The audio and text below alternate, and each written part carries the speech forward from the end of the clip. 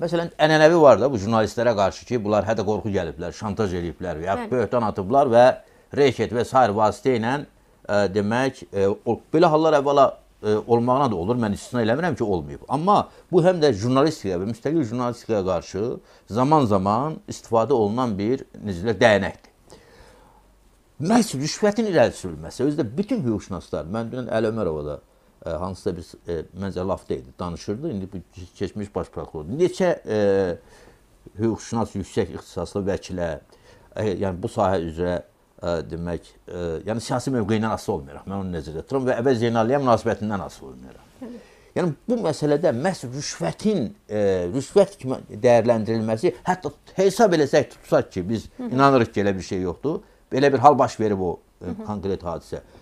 Rüşvətin üstünə qoyulması o deməkdir ki, sən ki bizi korrupsiyada və rüşvətdə ittiham edirsiniz, ey jurnalistlər. Bax sizin adımızı qoyarıq adınıza. Həm bir tərəfdən rüşvət və korrupsiya cinayətini adiləşdirirlər.